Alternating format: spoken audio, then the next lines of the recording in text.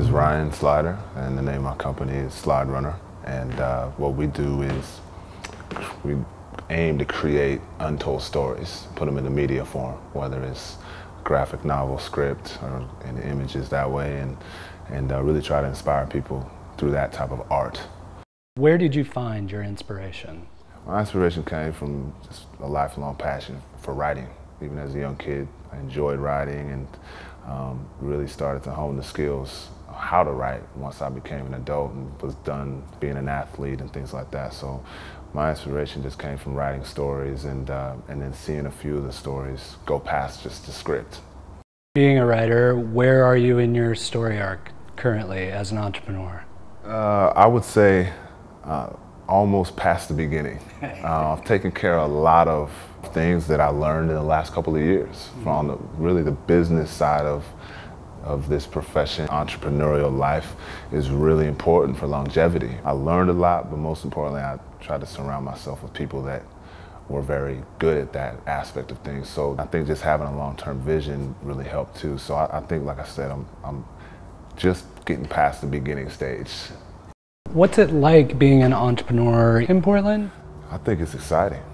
It's definitely, if you look at it a certain way, it could be daunting or can be a huge opportunity. And I choose to look at the opportunity side of it based on a lot of successes and failures that I've had before I started doing this. And uh, it's a lot of fun to, to live in that way, so to speak, because you're trying something that not a lot of people will do.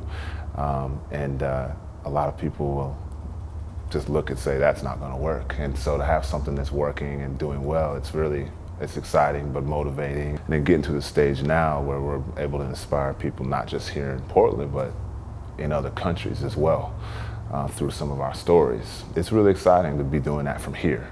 Portland, you know, of, of definitely not quite on the grid of entertainment in some ways, but but uh, you know, it's it's a great place to live and and uh, and operate.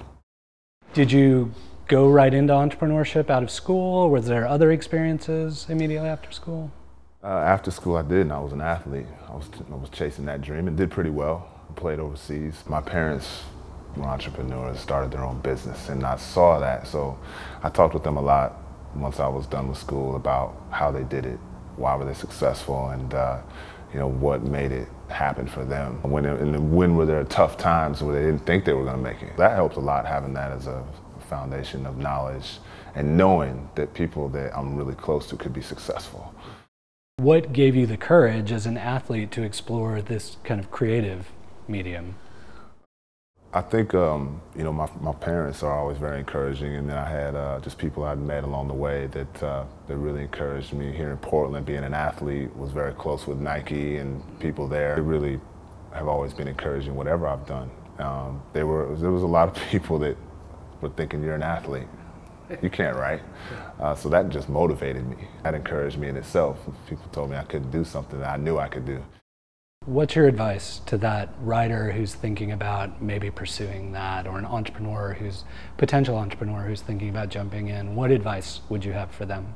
I would say to, to take the failures in stride, not let that stop you, because it's going to happen a lot of times. Even the most successful people that come into something like this, it's going to happen. I'm doing some great things now, but it's mainly because of the failures I had. And so people starting out that I talk to or that we can see through this, uh, that's what I would tell them. Don't let the failures stop you and keep going, keep striving. You have a dream, it's always attainable. So um, more failures sometimes is better, especially early on, because it's gonna really teach you what not to do. Hi, I'm Kristen Hammond with Jones Lang LaSalle, and today we're at the offices of Little Bird in downtown Portland. We're going to go through with co-founders Michelina and Marshall Kirkpatrick and hear why this space is such a great fit for them. Hi, I'm Marshall Kirkpatrick.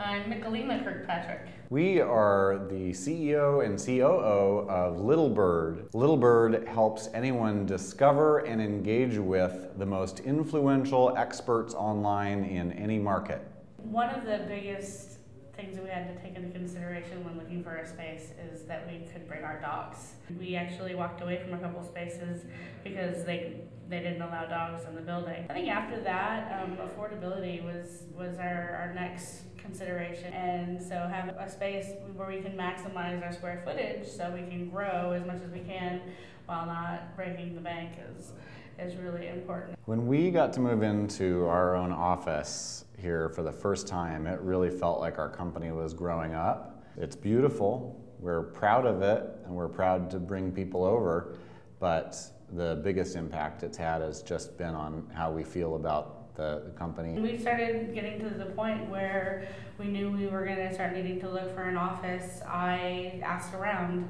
and I asked Rick Turoczy, and he said you should definitely go with Kristen. And I asked a couple other people, and they said you should go with Kristen. And so she's got a great reputation with people that I trust, and that means a lot.